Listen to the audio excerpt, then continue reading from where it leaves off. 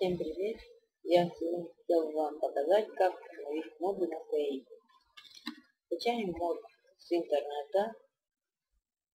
В архиве находим вот файлы. Копируем.